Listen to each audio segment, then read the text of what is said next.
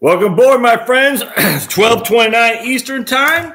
Settling in for a wonderful Thursday here in North Fulton County, Georgia. It's uh, a little bit on the warm side. Overcast was a nice day, and I got Miss Bessie behind me. So hopefully you can see uh, Miss Bessie. Let me see. Thumbs up that you can hear, please. And let's see if anyone jumps on board here today. All right, so I'm going to start. Uh, yeah, look at Miss Bessie. Isn't she fantastic? I have to start instead of me going like this. I'll start. Uh, I'll start using her uh, as my maybe as my logo. How's that sound? So um, I'm hoping if uh, if you can give me a thumbs up, if you can hear, that'd be great. Make sure that everybody's on board here. I'm, I got my smoked. Uh, what I'm doing, I'm smoking some uh, ground uh, chuck roast out there and if you do it right, it tastes like a brisket, man. It is awesome. All right, so let me just go over here real quick just to see if there's any. All right, sweet. Mark, right on, man. Colorado, right on. Welcome aboard. Sweet. That's fantastic. So, first thing I want to start with before we get cracking here is I'm going to talk to you guys about homestead exemptions. All right. Now, the reason I'm I'm doing this one uh, this afternoon because I'm not sure how well from my man Mark in Colorado this morning. Um, I like to arrange it around differently to see what uh, a how many people can show up on a certain day?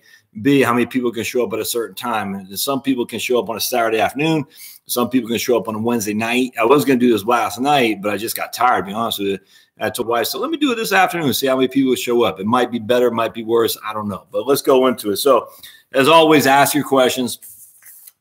All right so i was down there today at the uh, uh, fulton county assessor's office uh, to get my homestead exemption. So if you live here in Fulton County, you've got to have it approved by April 1st.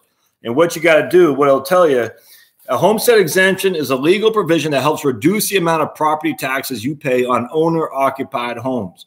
Applications, this is again Fulton County, Georgia, must be submitted on or before April 1st.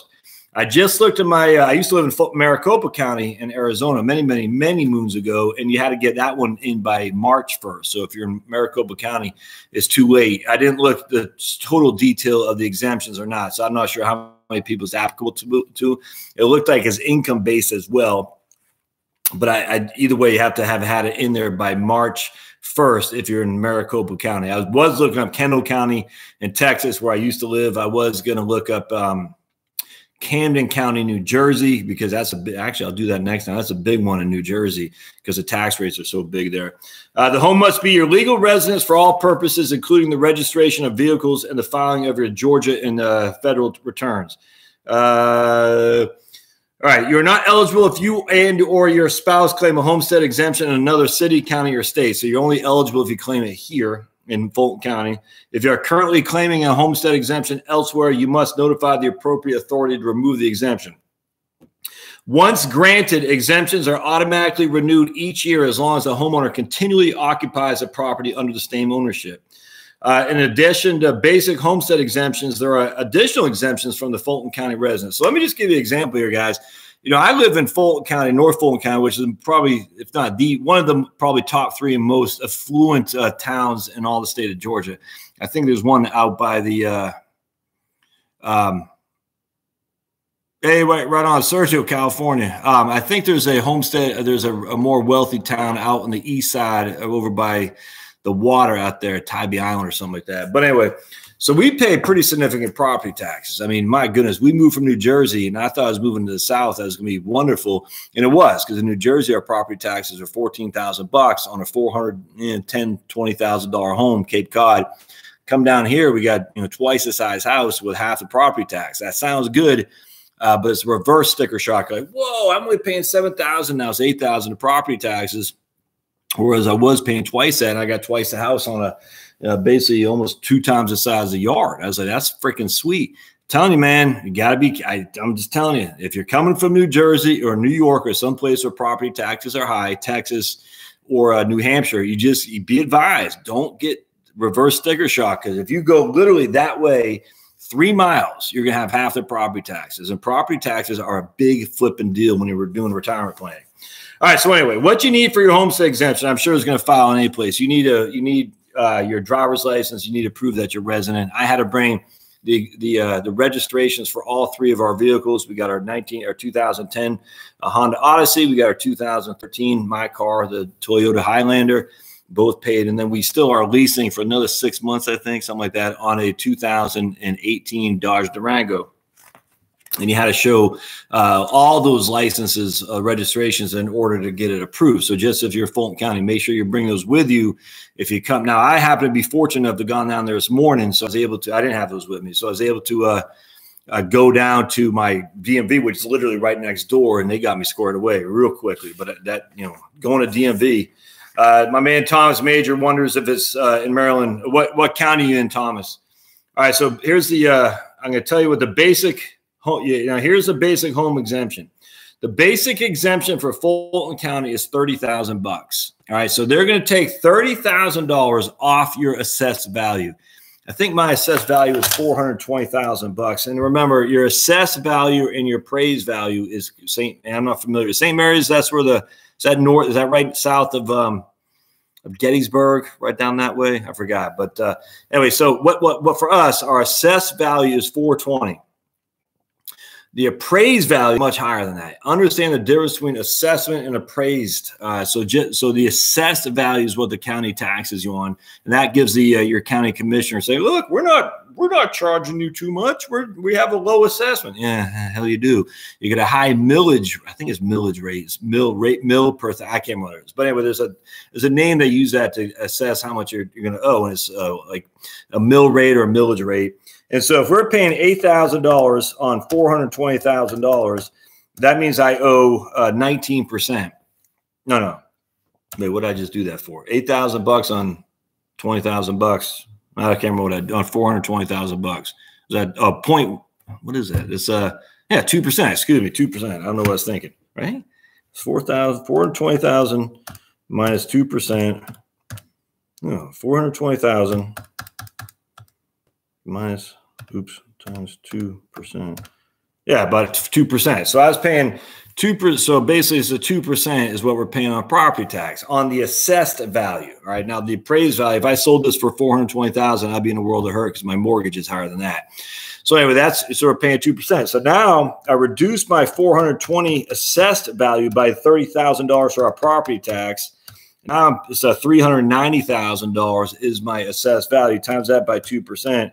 And so now I just saved uh, six hundred dollars in taxes. Essentially, does that make sense? So I saved six hundred bucks in property tax, uh, which is a pretty big deal, man. Uh, that's so Rick's saying four percent. Really? I don't think so. Two hundred, uh, four twenty times 0.02. Now I'm getting I'm getting uh, two percent, Rick. Um, anyway, either way, so I'm saving six hundred bucks in property taxes. I mean, that's fifty bucks. Yeah, fifty bucks a month. That's real money, my friends real money. And I wasn't doing it. And I've been here 2013, 14, 15, 16, 17, 18. And this is the first year I'm doing it. So if you think about $600 and you times that by six years, that's almost four thousand dollars I missed out on. Now, my, my, Rick, don't worry about it, man. I was like, eh, I didn't get it myself either. That's why I have my trusty calculator. Even that was having a hard time. That's six hundred. That's uh, almost four thousand bucks I missed out on just because I didn't fill a stupid property exemption. Now, there's also $10,000 statewide school tax exemptions, which uh, to be eligible, you must be age 62. So if you're of age 62 here in Georgia, you might get another 10,000 bucks off.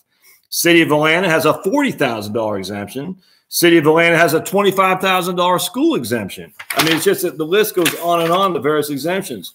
There's a freeze for senior citizens. And I don't know if you all saw my video I did on Texas uh, but you can actually defer your property taxes in the great state of Texas once I think you have to be 65 years or older uh, and never have to pay them. Now they will be paid once you sell your home or your heirs inherit it. But either way, uh, once you are, as long as you're living there, you don't have to pay your property tax. Here we're doing a freeze for senior citizens uh, to be eligible.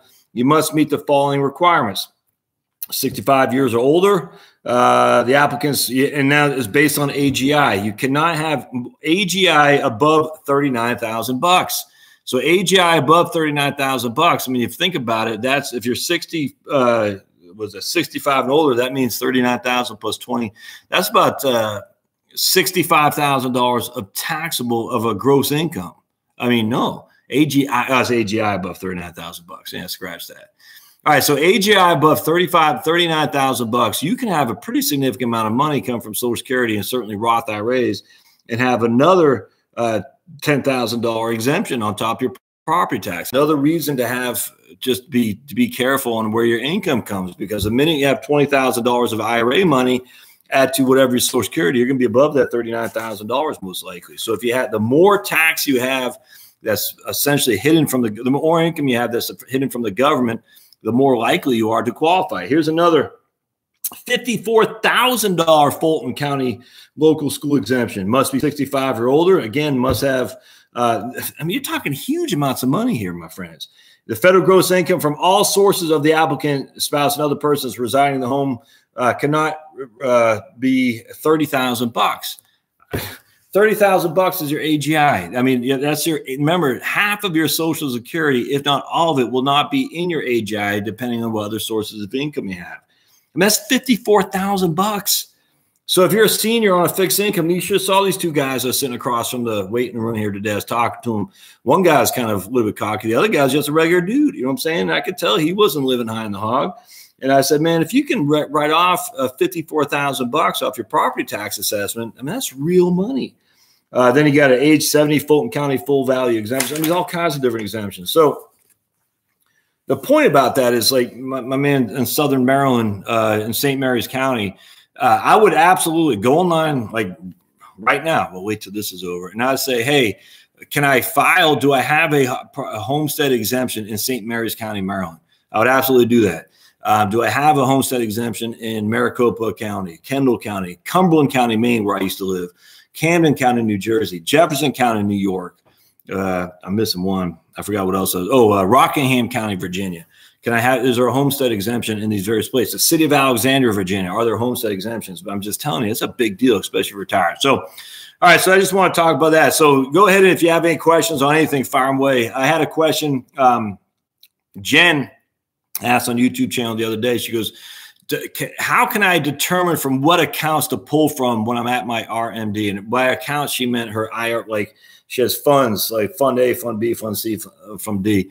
Uh, and she said, does she have to do them the aggregate or can she just put them all in one fell swoop uh, or just choose which funds? And the answer is you can choose which funds you want. So you can say, look, I got my Wellesley fund, and I got my Wellington fund, for example, and I'm going to take money from my Wellington and leave my Wellesley alone or whatever you want to do. So that's that's one of the things you can do when it comes to your IRAs. You can choose which account to, to take it from, and uh, which fund, which invest is probably the better term. And you can't do that with a TSP Thrift Savings Plan. You can't. Uh, Jen worked with a with a university, so she has uh, TIAA-CREF. I don't know how it works with TIAA CREF. I imagine it's probably is, is leaning as a regular 401k plan. I don't know that for sure, but certainly, certainly, certainly with a uh, a four one uh, with a TSP, you can't. The TSP is all. It's just it takes it out in one fell swoop, which boggles the mind. Actually, I, I don't get that at all. So one of the reasons why you want to do roll your money from a 401k over to an IRA it just gives you more control. But going back to Maryland with Thomas, don't do that if you live in Maryland, man. I'm telling you, because if you live in Maryland and you roll it from a 401k, if, if anyone's here on Rhode Island, same thing if you do it in Maryland and you do it in Rhode Island, you're you're paying more tax than you have to. Both Maryland and Rhode Island are very very favorable uh, when it comes to tax treatment on 401k, TSP, 403b plans. Not so much on IRAs. Uh, so just be advised if you're living in Maryland, Thomas, and you retire there, you better know how the, the system works for rollovers. And if not, man, tell those people around you, say, don't roll over your 401k. Uh, even if you got some, you know, slick uh, Merrill Lynch guy saying, "Oh, I can make you a million cent percent return on your money." Man, don't do it. I'm just telling you right now. You just look at the tax code to Maryland. I've done videos on that for both Rhode Island and Maryland, so just keep advised. Um, yeah, if you're 65, exactly. That's right. Right on. If you're 65, you don't have to pay the tax on it. That's right. Uh, but if you're 65 or if you're 50 and you're thinking you're gonna you're gonna stay in Maryland, you should not still pay uh, do the uh, rollover because you're gonna at some point you're gonna pay. Uh, Utah, I think, if I if memory serves, anyone's here in Utah, memory serves, Utah was the exact opposite. Like it uh, had, um, if you have if you have 401k, they weren't favorable to it. In IRA, they were. I can't remember. Just in Utah, it was a little bit different. So I did all 50 states in terms of what had weird tax things. I remember Utah had one that was is is indifferent to an IRA, but is negative on 401ks if memory serves. Maryland and Rhode Island were very, very favorable to 401ks, employer sponsored plans. Uh, just yeah, Thomas says better to convert if you have time. 100%. Someone asked another question I got. I said, "Hey Josh, what if I, what if I'm, who was this guy? I forgot. I can't remember. But yeah, he just emailed me yesterday. If I'm 62, because he, I, I talk about the golden years of tax planning, 62 to 70." And he says, "What if he's still working at 62? Uh, is it is can he not convert then?" You can absolutely convert to Roth IRAs. Absolutely. The, the drawback, if you're doing that, though, is, is that you're still working with earned income and you're probably going to be in a higher tax bracket than if you were to wait until you hung up your boots, if that makes sense. So, you know, if you're making fifty thousand dollars a year and you're married filing jointly, you only get twenty four thousand dollars, whatever it is. I think it's twenty four four this year of standard deduction. Uh, so you're still going to be in a twelve percent tax bracket right out the gate every $50,000 you convert is going to be taxed uh, from the very beginning of 12% up to going higher and higher and higher uh, till 22% whatnot. Um, now, the 401k, uh, oh, is, yeah, so I'm just sitting there thinking, I'd rather you wait until you hit, uh, you're not earned income for sure. Uh, just not to add fuel to fire, so to speak. And that's just my preference, man. I, I don't think there's it's a tough one there. I, if I know I'm making money and I know I'm going to be earning income for a while, I, I don't know if I'd add to it by converting uh, IRAs or 401ks to a Roth while I still have that income coming in. I, I just, I don't know if I do that now. It, but I got to tell you, I, because I, I worry about the widow's tax trap for sure. If I have a pretty significant 401k balance that will roll into an IRA, say it's you know 500,000, 250, probably not so much Maybe, but the issues you got to contend with if you're married filing jointly and you die, which you will, um, you're going to leave a pretty significant tax burden to your surviving spouse, depending on the size of the IRA you have. Uh, so, yeah, I, I'm generally not favorable of paying more tax today if it's going to make me pay a higher tax bracket, even if I think I'm probably going to be in a lower tax bracket or a higher tax bracket in the future. I'm generally not favorable to doing that. So in this case if I roll over 40, 50,000 to convert to an IRA, to a Roth IRA, and that 50,000 puts me in a 22% tax bracket. Uh. Now, on the other hand, if I don't do it and I have to take RMDs, like my man just said, and that keeps me in a 22% tax bracket, I don't like converting it because it's, you know, bird in the hand is better than two in the bush. So that makes sense. If it's 22 and 22, and I'm pretty comfortable there's going to be 22 and 22, I'll wait till later on to pay that 22% tax bracket if that makes sense. If it's 22 and 12, then I don't want to do that. No way. Now, but a lot of people get they miss they they don't understand how the tax code works when it comes to retirees. They think it's 12 as if it's just solely based on adjusted gross income. It's not. It's based on your social security, your taxes and retirement, because your RMDs will put your social security more tax. There's just no debate about this. And anyone who says otherwise doesn't know what the hell they're talking about. I'm sorry. Your RMD's required minimum distributions will make your Social Security more subject to tax unless they're so low they don't have a provisional income. And I, am not going to get that. maybe I will actually. Let's just go over that real quick because it's it's think. All right, so I just I'm going to do this to a blue in the face. I don't care. Thirty thousand dollars of Social Security. All right, so that's what we got. Thirty thousand dollars of Social Security. That's SS. I don't know if y'all can see that.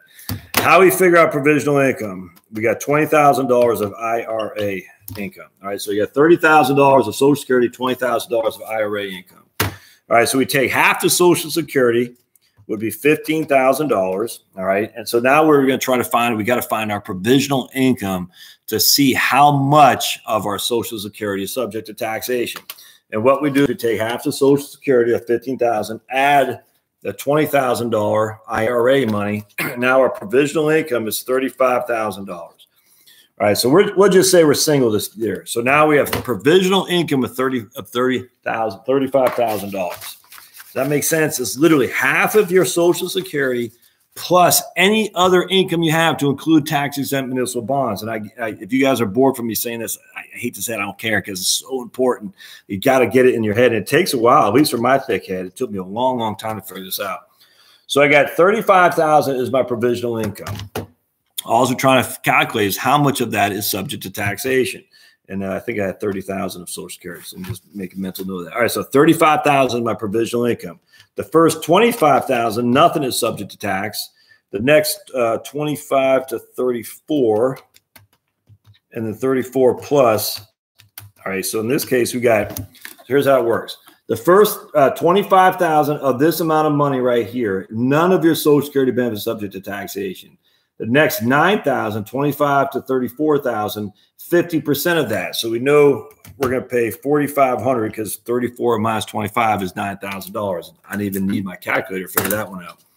Now, anything above that, which is going to leave us $1,000, we got 35,000, 25 zero. The next 9,000 is subject to 50%. The next amount above 35,000, above 34,000, which is 35, 1,000 is times by 0.85. So 850 is going to be subject to taxation. Now I do need my trusty calculator. So we got our total Social Security taxation,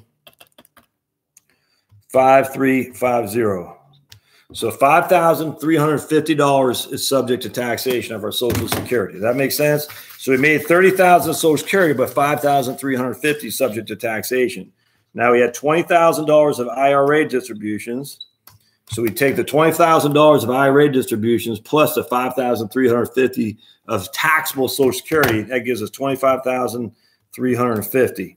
Is our tax is our AGI? That's our Joe. What's up, man? That's our AGI. Twenty five thousand three hundred fifty. Now, off top of my head, I can't remember the standard deduction to the penny. Let's just say it's thirteen thousand. Eh, I can't remember thirteen thousand six hundred if we're married filing jointly. So we take our standard deduction we have thirteen thousand six hundred dollars is our um, our uh, standard deduction, which is going to put us. Uh, I still need my calculator. Minus thirteen thousand six hundred, uh, eleven thousand seven hundred fifty dollars.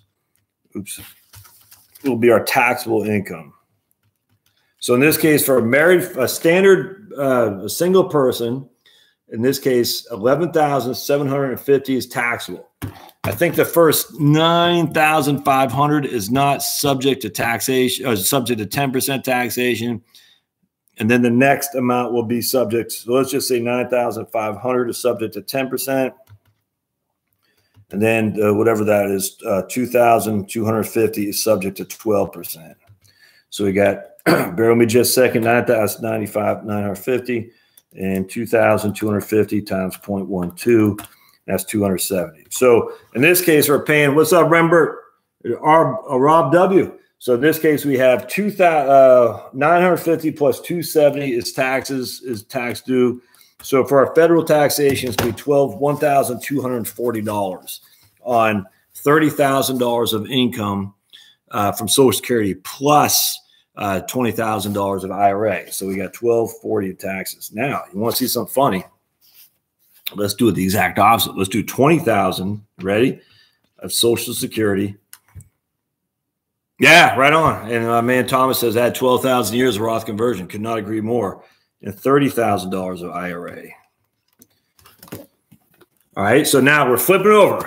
Before we had $30,000 of Social Security and $20,000 of IRA, and that was our taxes right there, $1,240. Now we're going to have $20,000 of Social Security and $30,000 of IRA. You see, Miss, for all of you, that's Bessie right here. Isn't she awesome? I'm going to make that as my logo for my uh, my website, uh, YouTube channel. I love her. Um, should probably tastes pretty good on the grill too, because I am a, uh, hey, West Tennessee, Kevin, right on, man. Um, because I am smoking. I'm looking right now and seeing that smoke, hickory, uh, mesquite, mesquite uh, smoke on my uh, mm, my gas grill. You turn the gas up a little bit just to get the charcoals embered. It's cheating a little bit, but man, I can see that smoke and it smells so good. Oh, you can smoke a chuck roast and then slice it. It tastes like brisket. Oh man, you just gotta get seared. Anyway, all right. So now we're flipping this around. So remember what we do here. We take half our Social Security, which is ten thousand dollars plus $30,000 of IRA income. So that makes our provisional income 40,000 bucks. I hope this is, makes sense and I hope you're following me. Um, $40,000 of provisional income. I kind of go, I don't really have any script when I do these live things. I just go with kind of what's interesting to me. And taxes are always interesting to me. All right. So remember, a single person, zero to 25, nothing, 25 to 34, 50%. And then uh, anything above 34, 85%. All right. So we know we have 40,000 as our provisional income. The first uh, 25,000, nothing subject to taxation. The next 9,000, 50% of that is, so that's going to mean 4,500 will be subject to taxation. And then in this case, we have $40,000 of provisional income. The first, anything above 34,000, 85% of that subject to tax. Very confusing, huh? But I, I, tell you, they do it deliberately so you don't know what the hell you're doing. You just follow along. So now I don't, it's too confusing to pay attention to, but don't do that. Uh, 0.85, that's uh, 5,100. All right. So in this case, $9,600. Our $9,600 of our $20,000 of Social Security is subject to taxation, almost 50%. Whereas before, I can't remember how much it was, but it wasn't 9,600 and we had more Social Security. So 9,600 is now subject to taxation. All right. So that means of our taxable, when we figure out our AGIs, 9,600 is our Social Security plus $30,000 is our IRA money, which means 39,600 is our AGI. All right, so you with me so far. So 9,600 is our Social Security that's subject to taxation. 30,000 is from the IRA, which means our total AGI is 39,600. Take out 13,600 from um, standard deductions, and now our total taxable income is uh, 26,000 and I'm just off the top of my head, I can't remember exactly what the tax brackets are for a single person today, but I'm just going to say the first 9,000, 9,500, 20, what did I say, 23,600? No, I can't remember what I said. I say 23,600. I think I did. Uh, 20, yeah, I think I did 23,600. Can't remember. But anyway, the first $9,000 is at 10%. And we're just going to say the rest is at 12%. I don't know that to be true, but I'm just going to say that 23,600 because the whole point about this is to show you something. 14,600 at 12%. All right. So this is what the breakdown is.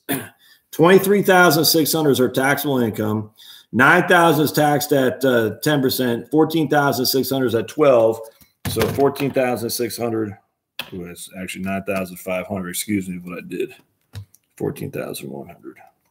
9,500, 950, and 14,100 at 12, 1692. So you want to see something different? It's going to freaking piss you off. Watch this. So now our taxes went up. Our total tax there is $2,642. 2642 more than double what we paid before. The exact same amount of income, but just more than double what we paid before simply because from where the income came. It comes from required distributions or any kind of distributions in IRA. It doesn't matter if it's RMD or not. It just matters it's a distribution or if it comes from Social Security.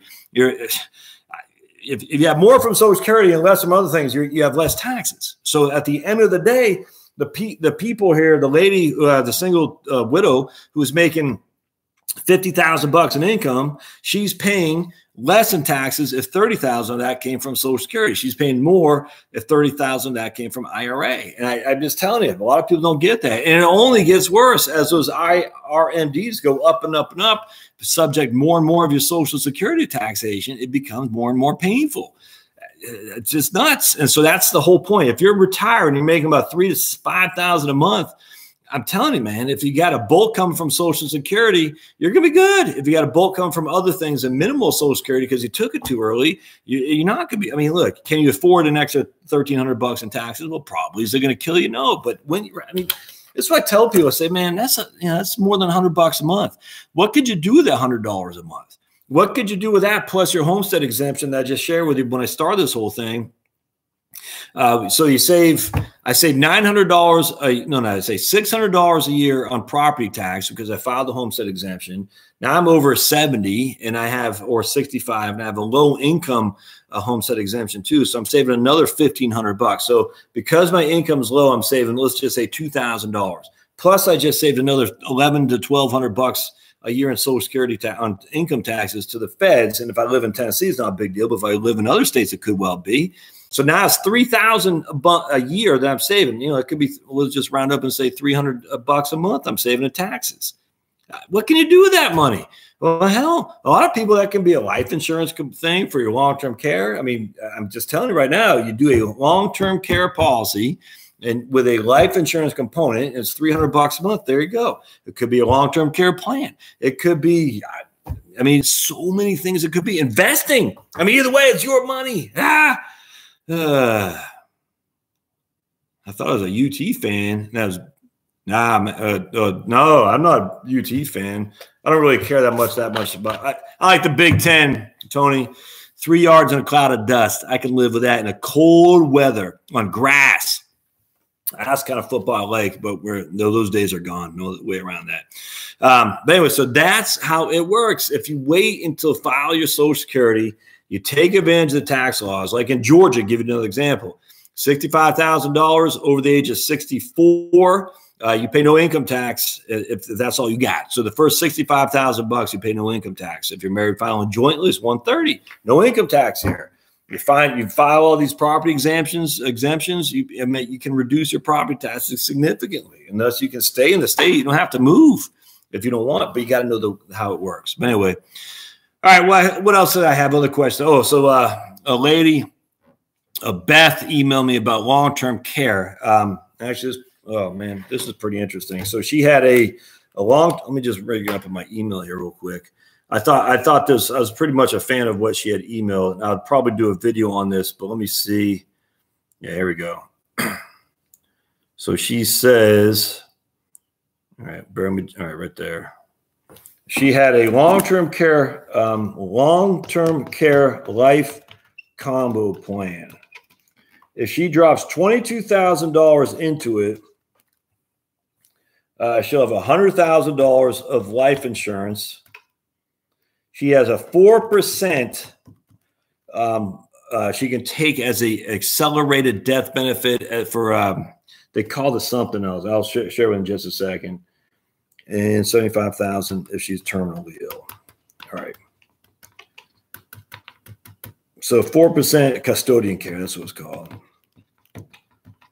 All right, so I want to share this with you. I, see, I'm I like these kind of plans. I'm a big fan of them. So she has a long-term care life combo. She drops twenty-two thousand dollars in it. I hope that doesn't look like sixty-six. It does on this end.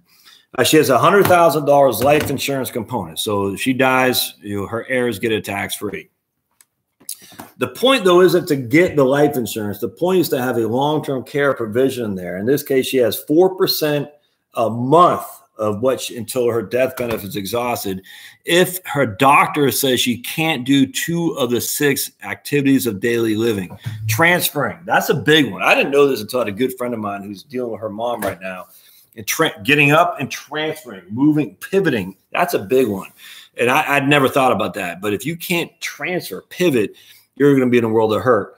Um, but anyway, so the that is a uh, that's a big one. Obviously, toileting, bathing, I can't remember all six. Uh, Sergio's on here. He might be able to pipe in. Uh, there's toileting, bathing, bathing, transferring, three other ones. I just can't remember. But anyway, I don't know if dressing is one of them or not.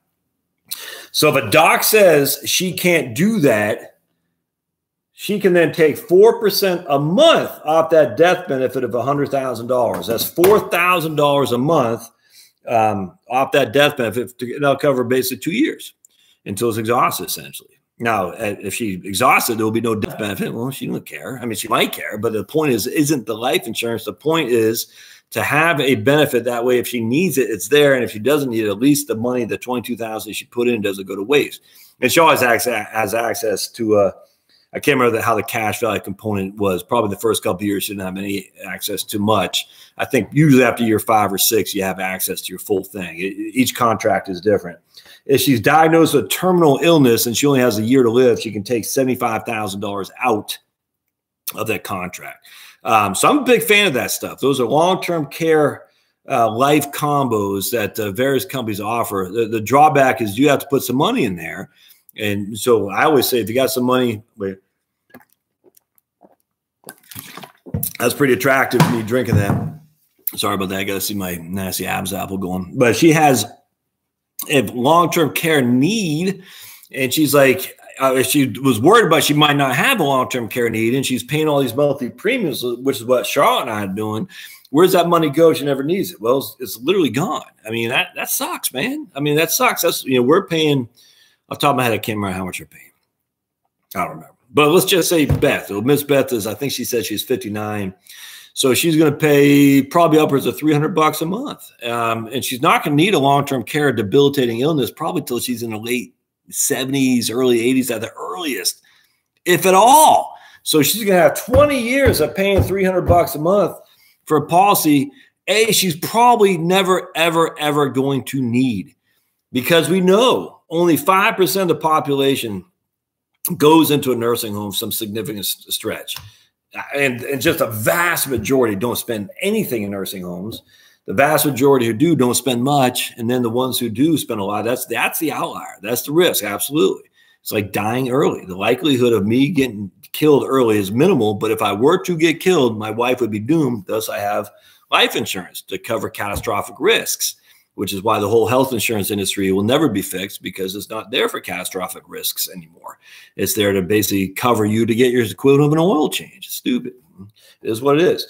But so life insurance, the life insurance long-term care combo, what I love about them is that you say at the end of the day, I'm, I'm going to have 22,000. The opportunity cost is I don't have any growth on that. Sucks.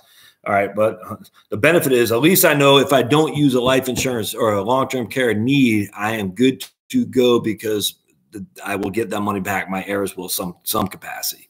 If I do need a life insurance or long term care uh, I, thing, I have access to four percent a year of the death benefit. Now that covers forty eight thousand dollars a year, and that's not adjusted for inflation. So forty eight thousand bucks and three, you know, probably she's eh, twenty five years won't buy the equivalent of what it will today, and we know that factually for sure, just because of significant inflation on these nursing homes and long-term care facilities and assisted living facilities and whatnot. But it gives her something, absolutely something.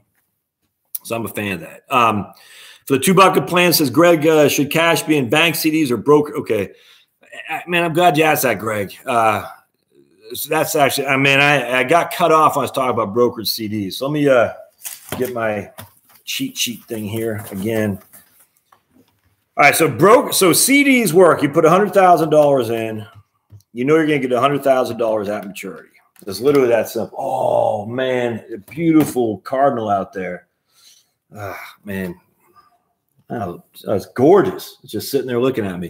All right, so you put a $100,000 in, you know you'll get a $100,000 at maturity. Um, he's just staring at me.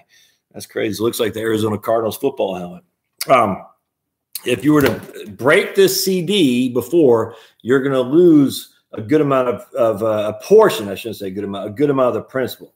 All right. So you know you're going to, not the, uh, your interest. All right. So you're going to get, let's say you're getting 5% a year. That's $5,000 of interest you're getting each year. If you break the CD early, uh, you'll get your $100,000 back for sure, but you'll lose, uh, let's say, $2,500 of interest. You'll lose six months of interest typically. I hope that makes sense. But at least you know you get the 100000 bucks back but then you're going to lose $2,500 of interest. It depends on what your bank offers. A broker CD works differently. There is no surrender charge, none. And the reason for that is because the broker CD works like a bond. It could go up to 105,000, could go down to 95,000. I mean, they're literally being brokered. All right. So broker CD start with $100,000. There's no certificate. It traded just like a bond. And so what I don't like about broker CDs is if you need to sell early, you have no idea what your what the price is going to be. And even worse, the person, usually the insurance company or pension company on the buy side, who's bidding. So you're asked. So what happens on any kind of transaction, a stock or bond? It's a bid ask. I am I'm asking for hundred thousand dollars.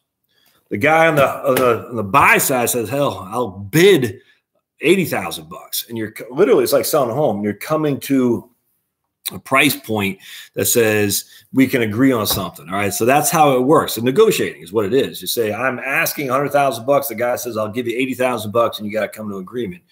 Now, the, the drawback is with bonds and CDs, I mean, I'm just telling you right now, and broker CDs, I mean, is that the the buyers are a hell of a lot more attuned to the market than you are as an individual. And so there's some guy, my man Greg's just putting out a an ask for 100,000 CD. The people on the on the buy side, they, they they know there's a reason you're trying to liquidate that. Thus, they have the they rule the roost because you are trying to liquidate this for a reason, and that means you are more prone to sell it for a discount than they're willing to pay a premium if that makes sense. So the reason I like brokered CDs is because when you sell it, you have to get a bid, and if you're not getting any bids, I mean, a there's no demand for it, and B, the only way to get a bid is to lower your, your ask, which means, again, has no idea if it's going to come back at $100,000 now. You just don't know. Now, it could be more, but what would make it go higher? Well, but the interest rates have dropped. And I just, what's the likelihood of that happening? I mean, right now, the 30 year treasury was, I saw it yesterday, at 3.9, uh, 2.99. Right now, the 10 year treasury is at uh, 2.632. That's TNX. That's a 10 year treasury. 2.632. That means it dropped three basis points from when we last spoke. At, it was at 2.625. I mean, so it's the, what's the likelihood that the rates are going to continue to drop down to where we were? I think it's 2015 when the 10 year broke 2%, is below two. I mean, we're not in any kind of economic doldrums that would warrant that. Now, it could happen. Look, I don't know. I mean, I'm reading about the solar uh, solar flares and stuff like that, which is another reason I'm, I'm not a. I had oh. uh, some of you are going to be pissed off when I say this. I do not worry about climate change. I'm sorry. So I had a guy yell at me because I didn't think climate change was anything that of worry, and he yelled at me on YouTube, called me a jerk and an idiot, blah blah blah. I just chuckle. Anytime someone has to refer to ad hominem attacks, you know you are on the right side of the argument. So I just laughed. I said, "Okay." I've heard this. Look, man, many times a Sunday doesn't care. The minute that I know I'm in the right is when people got to start saying, "You're an idiot, you're a jerk." The point is, at the end of the day, anything could happen. Anything could happen. My goodness, we we don't know. But the idea that we're in an economic doldrum that warrant the the ten year bond to go down below two or the three year bond to go down below two and three quarters.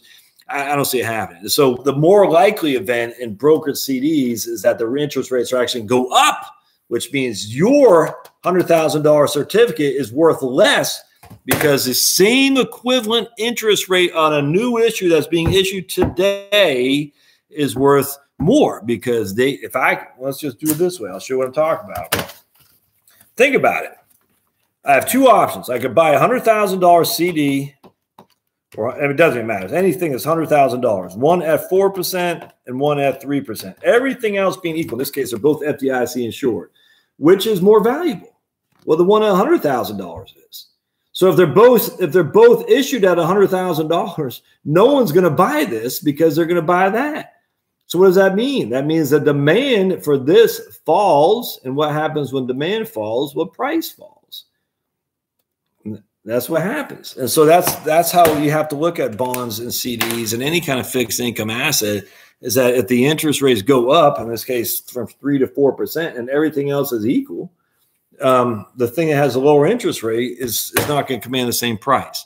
So to answer your question, Greg, I'm not a I'm not, I'm a, I'm okay with broker CDs if I'm going to hold them to maturity, most likely. But just remember, there's a reason that you're going to sell it, and the guy on the buy side knows. He's saying, "Oh, uh, your, your liquidation, I'm going to sell you. I'll I'll give you twenty cents on dollar, something like that." That's my that's my thought on brokered CDs. And sorry, my thing got cut off when I was doing that video on it the other day.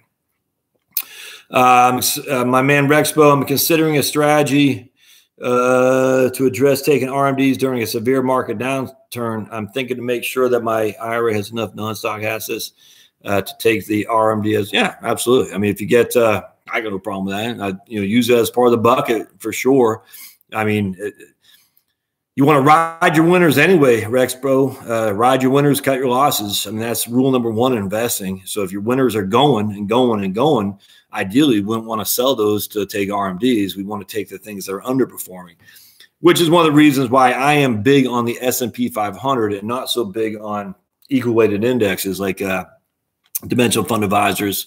Oh, what's the other firm? I'm drawing a blank. There's a firm out where in California. Man, I can't believe I can't remember this. Or and something analytics. Man, how could I not remember these? Can't, no, it's not Cambridge Analytics.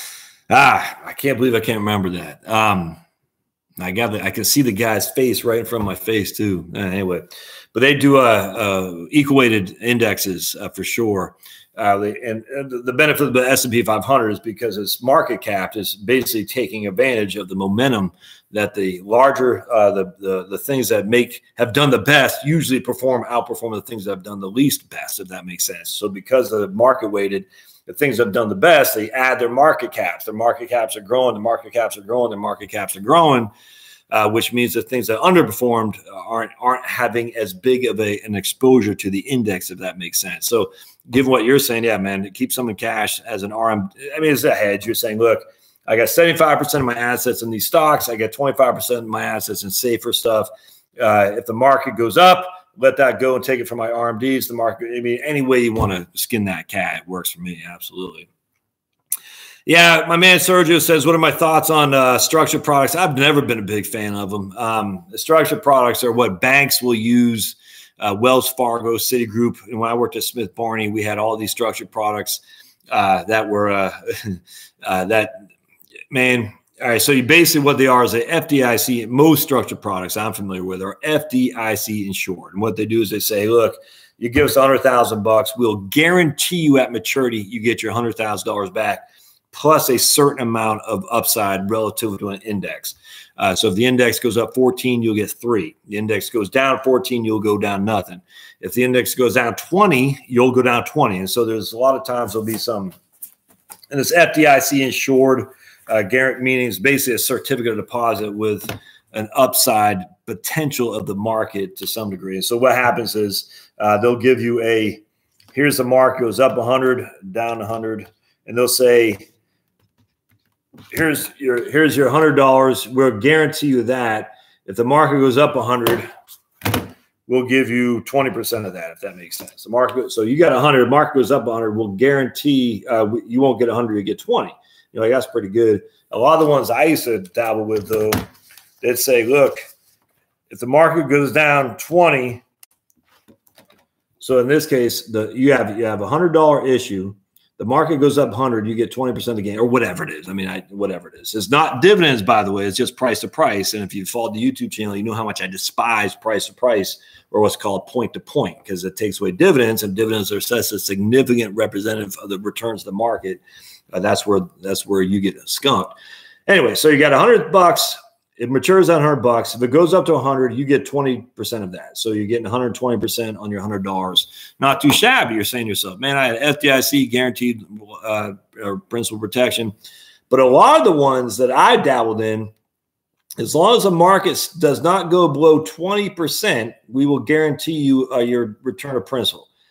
Now, if it goes below 20%, you're going to take some of that loss, if not the whole thing, if that makes sense. And so basically, what they're saying is we'll protect you against a relatively common uh, bear market or correction, but we're not going to protect you against a significant correction by any stretch. And so, uh, see, that's what I don't like because the whole point is, you know, if, if, if you're afraid of a 20% market decline and you need that in order to do this, that's not the, the the big risk is a significant market decline. Uh, you know, 55% from 2007 to 2009. I mean, this would not have protected you in that. Now, the, every single structured product is different. Every single one. There's some that offer much more um, upside uh, with more downside. Uh, some are some aren't FDIC insured. The, what I found though is a lot of, is is a wonderful way for a guy to make commissions. look, man, I'm the farthest thing from faulting people for making commissions. I am of the opinion I'd much rather have you pay commission to some guy, Ed Jones, to put you in A shares American funds than I would have you pay some guy 1% a year to put you in index funds. Uh, the commission account will do better, I can almost assure you, uh, than the 1% a year would account. And the simple reason for that is because you're going to pay less fees. There's no two ways around that. And I don't care if this guy – is doing a fee fee account. He's you know a registered investment advisory. He's a fiduciary. He's as pure as wind driven snow. If he's charging you one percent a year on an asset base that's growing, and now on the other hand, you went to some guy Ed Jones who might not seem like he knows his you know butt from a hole in the ground, uh, but he only charged you three and a half percent up front, and on the asset base is growing without that that headwind. That guy's going to outperform. There's no there's just no two ways around that. So anyway, I'm I'm not against commission based products at all. What I don't like about structured products, though, Sergio, is that it's almost like an annuity. They roll them and they roll them and they roll them and say, "Hey, Mrs. Smith, this structured product's matured. You gave us 100, is now worth 102. Let's do it again." She goes, "Okay." And every year they get three percent of that. And I just, it's hard to make any money if you're paying three percent each and every year for these structured products. It is. I mean, I just so I'm not a big fan generally. Um, you had asked about three and five year ones. Yeah, I'm not that familiar. There was one I was I did a video on. I forgot what it was, uh, but the same thing, priced a, a point to point. They had called it something, and someone actually emailed me on the YouTube channel, put a note on the YouTube channel about that similar product. BulletShares is what it was. BulletShares, and I, I didn't like that. So I did a little bit of research. I did a video on it. Um, and just not a fan of it for sure. But you know, I can easily be convinced that there's more to the meets the eye. It's been you know, going on 15 years now since I was doing these things. That's for sure. Uh, can you explain what a home? Oh yeah. So Jeff, yeah, right on, man. I saw you. Uh, don't feel bad. I can't remember anything either. someone was telling me I was reading that if you take turmeric, and I started to take turmeric for anti-inflammation in your shoulder, uh, that's good for Alzheimer's. FYI, it's good for brain cognitive cognition or whatever it is. So I am taking turmeric it will tear you up though. Just be advised. It's like it's like um, Indian food with a curry. Now oh, I can't stand curry, but man, it, I tell you, I feel since I've been taking it, my pain in my shoulder has gone away quite a bit. And I started doing this uh, thing where you just stretch like this, and man, it, it feels great. Uh, so homestead exemption. All right. So just uh, Jeff, uh, to revisit that is a homestead exemption is a way you can reduce your assessed value on your home if your county allows it. And so what I talked about here at the beginning of this show is I said I can reduce the property value of my assessment by thirty thousand dollars here in Fulton County, Calif- uh, Fulton County, California, Georgia, which is saving me approximately six hundred dollars in property taxes. Ain't too bad, uh, and because what they do is I use an example. If I'm at a four hundred twenty thousand assessment, and I get a thirty thousand dollar homestead exemption. My assessment now is uh, three ninety, and I was paying two percent on my value, my assessed value, uh, to the great folks in Fulton County, Georgia. So now I'm paying 2% on 390 as opposed to 2% on 420 by just filling out this one. I don't have it there. I, I went down the office today. This one piece of paper that validated that I, I do own this property. I had to swear and I had to raise my hand. And then I had to say that it is owner occupied. And because I, I'll get uh, $30,000 reduced off my property as tax assessment. Every county has their own unique ones. Um, and so uh, we and I think my town actually has another ten thousand dollar one here too, and I know Alpharetta does as well. So your town might have a homestead exemption on top of your county. I, am telling you, man, I I would highly recommend you look at you know your county there in North Carolina and see if they offer it because it can be a big deal. I did look at Maricopa County, uh, Phoenix, um, in Arizona, and they have. It seems like everybody gets a homestead exemption of 150, 150 thousand dollars. They did have more for seniors and those with low income again goes back to the idea we want you to look as poor as you possibly can on paper and that way you don't have to pay more in taxes and you can get various things exemptions obamacare uh, with the credits whatnot all that stuff the poorer you can look on paper my friends especially in retirement the better off you're going to be for sure uh, let's see here don't feel okay. Thank you. Is it worth converting my 401k uh, to a Roth to avoid paying tax my Social Security? Yeah, Absolutely. So Steven says, is it worth converting my 401k to a Roth to avoid paying tax on my Social Security income and Medicare premiums in the long run? Or would I be money ahead not converting? I, I, I mean, uh, so someone asked about uh, uh, IRMAs as well. The uh, I forgot what that stands for, but it's the increase in Medicare premiums, Income Related Medicare Adjustment Act, IRMA. Uh, and so what happens here, guys, is that if, you hit a certain threshold of your income, and initially it was not indexed for inflation, all right, just FYI, and now it is indexed for inflation because of new tax law. So one one check for the Trumpster right there, but initially it was not. But anyway, so it's indexed for inflation now. So this year it'll be different than what was last year. But essentially, last year, if you're single and you had seventy-eight thousand dollars of modified adjusted gross income, we'll just say eighty thousand for simplicity of eighty thousand dollars in modified adjusted gross income, your Medicare premiums were in, increased. Uh, in that case, by 35%. That's part B and part D. Uh, that's a big deal. And now, if your income went above, I think it's 105, it doubled. If it went above 115, again, don't quote me on the exact numbers, but it wasn't. Uh, it was a pretty uh, low burden to jump. Once you hit 80, it wasn't much to get to you know, doubling, tripling, and quadrupling of your Medicare premiums. That's that's before you factor in your standard deductions. It's literally your gross income, which also happens to include your tax exempt interest, by the way. So like my man Alberto, and I don't think he's on here today, but he's got five percent municipal bonds, which is freaking wonderful. And he bought them at discount because he's smart to have cash on the side, and he bought them uh, during the 2009 where you couldn't freaking give away a municipal bond. So he did. I mean, that was a wonderful, wonderful move. Those days are long gone now. So to buy municipal bonds in order to reduce your taxes uh, doesn't make any sense because the municipal bond interest is is factored in your Medicare premiums and it's factored in your tax on Social Security. Don't do that. And so, going back to your question, Steve, is it worth it to convert? Yeah, absolutely. Now the drawback is always if you're going to convert and it puts you in a 22% tax bracket, in a 12% tax bracket today, and you convert and it puts you in a 22% tax bracket today, and you're pretty comfortable that in retirement you'll still remain in a 10 to 12% tax bracket um, it probably doesn't make sense. But what people miss is is not just Stephen and Mrs. Stephen, it's Mrs. Stephen as well. What happens to her when you die? That's what always gets overlooked. I, for the love of me, man. People say, "Well, I did my Excel spreadsheets and it shows you I'm 12%. In the future, I'll be in a 10%. So I don't need to convert." I said, what happens when you die?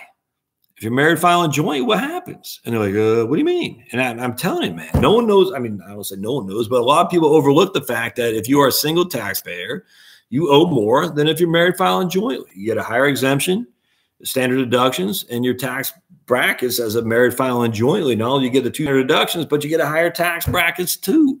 Uh, so, I mean, so you can't just look at 12 now for Stephen and Miss Stephen and think it's going to be 12 later for Stephen Miss Stephen. You got to look at 12 now. What's it going to be later when you die and leave your assets to your surviving spouse? That's a big deal. So that way makes it to me, I think you will be in a higher tax bracket. If not you, then your spouse for sure, which is what makes it worthwhile to convert. Now, should you convert if it's you know 10 to 12, fine. But if it's 12 to 22, that's a 60% increase in taxable uh, brackets there. It's going from 12 to 22 is a 60% increase. Is it worth it? I don't know, man. That's a tough one there. That's a tough one. I, I it, situation dictates for sure. Uh, Tracy G, what's my thoughts on reducing life insurance coverage as you get older and your portfolio gets larger? Uh, if either of us passes, we. Yeah, well, no kids. Okay, when you say no kids at home, Tracy, does that mean no kids? Um, What's the best asset your heirs can inherit? The best asset your heirs can inherit. All right. You got three assets. Let's do four assets. We got taxable account, tax deferred, tax free, which is the Roth, and then life insurance. All right. So the of the four assets, the best one they should inherit is this guy right here. And this guy right here is probably 5149. The worst asset, and the second worst asset. The tax defers your IRA 401k. The reason for that is because life insurance is 100% tax free. All right. There's no required minimum distributions, 100% tax free. It's liquid at the day they get it. There's no fuss or muss on how much it's going to be. With a Roth IRA, while it's 100% tax free, and the growth is also 100% tax free when your kids inherit it, which the growth on life insurance is not, which is a big deal. Uh, but there are some limitations. What if the market is down 20%? What if the market, uh, I mean, what I mean, I could a, a myriad of things with inheriting a Roth IRA, which makes a little bit less, uh, I hate to even say, I don't know. I think it's, eh, it's probably 50 50. Life insurance is good because it's 100% tax free. They know exactly what it's going to be. Uh, no liquidation needed. They just know exactly what it's going to be. Roth IRA, uh, is good in that they can inherit it and stretch it out over their life expectancies, still take it tax free. They do have RMDs, but the required distributions are still tax free too. The drawback by the Roth, and this is the same thing with life insurance, is once they own it, uh, it is subject to creditors. All right, so creditors and predators and in-laws and outlaws. That's what we say in the estate planning realm. Uh, creditors have access to inherited IRAs, 100%. Creditors, uh, predators do too. Like you're leaving it to some naive son and he gets uh, blown away by some guy who promises of the world to you know go to the university of southern california to pretend like he's a uh, does rowing or tennis at georgetown or whatever it is that controversy. And he said yeah that's i want to be and so that's a predator. In-laws and outlaws man, they come out of the woodwork. The minute you start finding out they got you got money, man, they're like white on right. So anyway, neither of those things are exempt from that. Let's just put that way. But I'd much rather have life insurance inherited than the other two. So if you don't have a significant Roth built up, and you said you have a significant, you have a pretty good 401k. Um, I'm hesitant to say get rid of life insurance. Um, I don't know. It depends on the premiums. Uh, if it's term, yes. If it's term policy, it's going to be way too expensive. If it's a universal life and you have some significant cash value in there, I'd be hesitant about cashing out. If it's term, I, it's going to be too expensive because uh, once the term matures, i.e., you got a 20 or 30 year term, and now you're in year 21 or 31, the, the price on those is just going to go through the roof. At that point, it becomes an annual renewable, which means it becomes more and more expensive the older you get the closer to death means it could be even more expensive because the older you get, the closer you are to dying. The closer you are to dying, the more the insurance company is going to charge you. So annual renewable term, we used to call them ARTIs. Yeah, you don't want that as you get older. And any term policy that's issued today, uh, that's what it becomes. It becomes an ART, an ARTI, annual renewable term. And I, I just don't see any value there at all. Unless you know you took up smoking two packs of Kools and you're going to die from heart uh, lung cancer tomorrow, then maybe you should have that. I'm hesitant to say get rid of it outright, uh, just because I do like life insurance as part of the situation. Just remember, guys, on the on the four buckets here, the the best, the next best one after life insurance and Roth are 50-50 is your taxable account because they get it with a step up in basis. And just to elaborate on this, and some of you guys will probably get bored because I talk about so much. Oops. You put fifty thousand dollars in Apple stock, it's worth two hundred fifty thousand dollars at the day you die uh, that 250, that $200,000 of gain. So you put 50,000 in, it's worth 250. That $200,000 gain transfers to your heirs completely tax free as long as it's not in an IRA. So they get it completely tax free. If you live in a common law state, California, most of the states out west, Texas, I think Texas is common law too. Man, I used to know the states off like like I could recite those to you. I think Texas is common law. If anyone here is in Texas, they can speak to that. Um, uh, it transfers to your surviving spouse tax free as well because of step up basis and community property, whereas in uh, us in common law states, uh, community property states. So did I say that? I forgot. Anyway, community property is Texas, California, Idaho. I can't remember if Utah is, Wyoming. Those states out west are community. We are in common law here in Georgia in the Northeast, whatnot. So at my death, if I own twenty five thousand, uh, fifty thousand dollars of Apple, it's worth two hundred fifty. My wife would inherit it. Half that would be tax free because of step up basis, but the other half, if she were to sell, would be subject to capital gain. If she lived in a community property state, California, Texas, and the other ones out west, uh, she'd get the whole thing tax free. So that's a big deal. Don't, I'm telling you, man, don't overlook the value of taxable, i.e., brokerage accounts, especially when it comes to estate planning. They're a wonderful, wonderful asset to have. And a lot of people have no clue. They don't. They say, I'd rather shelter myself from, you know, 10% tax, 12% tax today uh, because it's what everyone tells me to do. And I said, no, man. If it, I mean, just it doesn't make sense. There's way too many better, more beneficial ways to deal with a tax man than just you know taking a couple hundred bucks off your taxes today, especially when you factor in things like step up and basis. It's nuts. Uh, see, just changed my YouTube name, wondering if it worked. Still says Tom Major. Thomas was too formal for me. Yep. Tom Major. Speaking of the USC mess, did you think they'll get any jail time? Come on, Tom. These are the elite. Actually, some of you might not like it, but there's a guy named Ben Shapiro out there. He talked about well, he was in Harvard Law School. How they said that basically it was Elena Kagan who is now on the Supreme Court said, Hey, you made it. Don't worry. Now you're the elite of the elite. You'll be taken care of. I said, This is the problem with higher education. Once you get in, you're in, but no one cares what you do afterwards. It's nuts, man. That's why you should go to state U or better yet, community college, or better yet, don't go at all. It's nuts. So you get into Harvard Law School because you're able to put your face on like you're rowing, and then your, your rich mom donated all kinds of money to the freaking university. You're in that school, and now you don't have to do anything. It's nuts. It's that's not the way America is. America is the best shine. The lazy don't shine. Doesn't mean we leave the lazy to you know, freaking die on the vine. But you know, I hate to say it, but if you're a hardworking guy and lady, you should get rewarded as such. If you're just sitting there on the on your parents' laurels, what the hell? And I look, I get it. Whatever forever happen in humanity, but eh, I don't like it. But no one's going to jail, man. Come on. They're not Paul Manafort. Look, I got no man. That guy, he seems like a scoundrel too. I'm not gonna lie to you. I all these guys in DC. That's why it's a swamp. All these guys, right, left, everyone.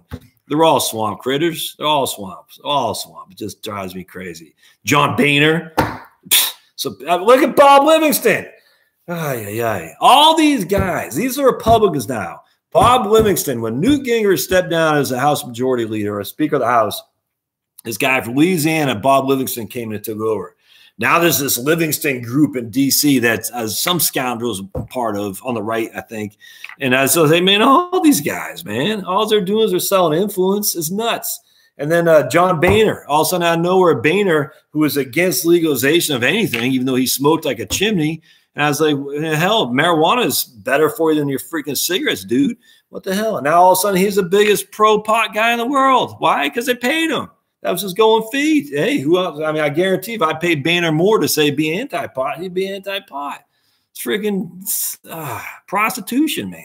And they're going to go after these ladies in DC on 14th Street. When I was growing up in DC, 14th Street is where all the prostitutes hang out. They're going to go after them. But yet, John Boehner can prostitute himself. And yet, some lady is prostituting herself for money, she's going to go to jail. That's freaking wrong. It, uh, it drives me insane. Ugh. Ugh. All right, uh, Josh, enjoyed your video on preferred stock. I have to admit, I really don't know what it was. Can heir roll over parents' IRA to their own? Yes, absolutely.